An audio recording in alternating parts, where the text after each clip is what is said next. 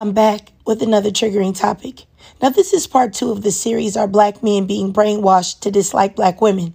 This video is going to discuss how and why it's happening. Let's get into how first. We have a targeted attack against the black man and the young black man into not seeing the black family as the standard or the black woman as the standard of someone that they should want to be with. How do they do this?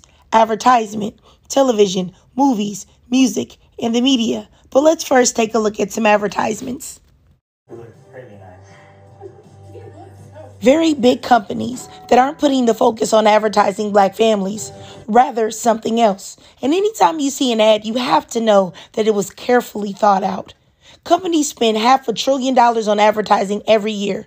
No one invests that kind of money into something that has no value or benefit. Think about why they're using these images. But let's dig deeper. Now, I was watching this movie on Netflix called Hypnotic, and I found it strange that they only put two black men in the movie, and neither of them had black partners. And if black people are usually together, wouldn't you want to represent that in at least one of the characters' lives? Wouldn't that be true diversity? Here are more representations that lack the presence or diversity of black men and women moving functionally and being happy. And this is just the tip of the iceberg. This narrative is pushed quite often in movies and television, and it seems to be a dirty secret that no one talks about publicly, but people definitely notice it. Looking at this screen grab of Bird Box, we had a world where black women didn't exist, but they managed to use a black man that gave his life and his protection to a non black woman, per the usual script. The black man always is his best self and is a shining protector to all women except the women that he came from. And if you look at this animated clip I was watching, you will see that animation is no exception to these tropes either. Now, if you look at this next clip for Amazon Prime's Invincible, I was shocked when I saw this. There was something going on, and the black man stood up to protect his woman, a non black woman, of course. All the while, there is a black woman standing there on her own and with the baby with no protection. And you've got to wonder why these stereotypes are in everything that we consume because there is a reason for it, and it's not accidental. And the majority of these black couples that are placed in the forefront of entertainment are always usually dysfunctional. They make it that the black man can't be his true self, succeed, or even be loved correctly unless he looks for it outside of the black woman. They say that black people, including our youth, are the heaviest TV watchers and the most likely to use television as a learning tool. Imagine growing up and being brainwashed unbeknownst to yourself as a young black man and seeing the only images of yourself offer love and protection only to non black women while ignoring your own women.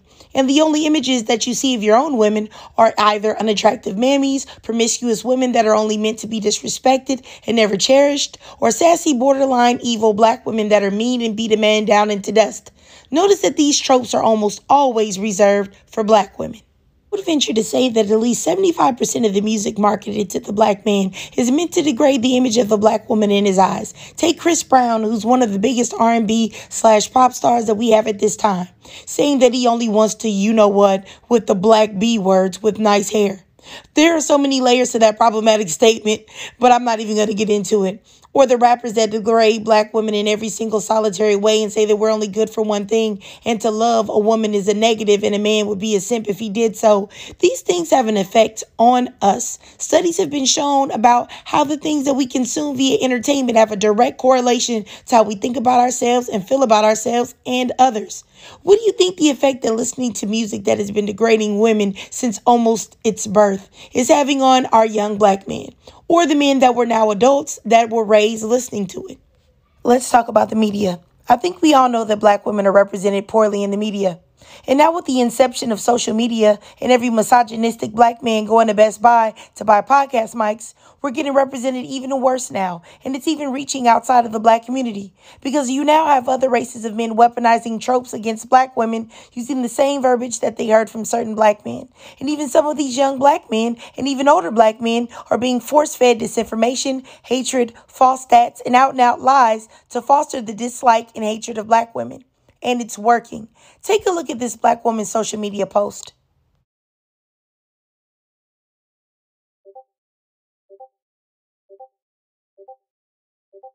All of these things work together to provide a disdain, dislike, and hatred for black women. Do I think this affects every single solitary black man? No. But do I think it affects a lot of black men? Absolutely. And the impressionable young black men are at even more of a greater risk because they are exposed to so much. You can't tell me that if you're active on social media that you haven't seen the disdain and dislike that a lot of younger black men have towards young black women and black women in general. It's scary, but somehow they manage to have nothing but absolute love and adoration for their oppressors. Why is this happening? It's a targeted attack. That's why. Because when black people work together, think Black Wall Street, when we really work together as a unit and stay on code, we flourish. We succeed. And at times we even did better than them because there is nothing more powerful in our community than the black man and black woman united. But now we've integrated into their communities and they are in control. They control the narrative. They control the narrative of how the world sees black women and men. And they have managed to fracture and destroy the black family. And I'm not making excuses for anyone. And I'm definitely not making excuses for black men. All I'm saying is that this is an attack. Until we acknowledge it as such, or we keep acting like it's a conspiracy theory, it's going to continue, and the relationship between black men and black women will only get worse, especially the black youth. And the violence against black women will only increase due to the disdain and hatred that is being pushed. But y'all let me know y'all thoughts down below.